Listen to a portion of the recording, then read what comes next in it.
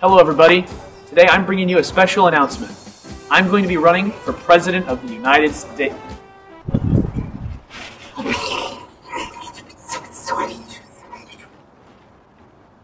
Uh, that makes a lot more sense. That makes a lot more sense. My bad. I'm actually running for student council. Next year, I would like to be the VP of Media. Now, you're probably wondering why I'm running for this position. Well, you see, my whole life I have dedicated to entertaining people. I know I got off on the wrong side before, but I really think we're gonna get along, don't you? Be super friends. I love making people laugh, and I do anything I can to brighten someone's day. I realized this in seventh grade when I created my YouTube channel, Colecperrine.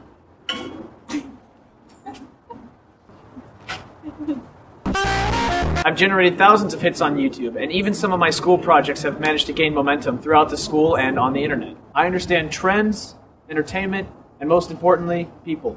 And if you want someone who can run media efficiently, I'm your guy. Join me, and let's make Lamar great again. Vote for me. I'm out. Welcome to the White House.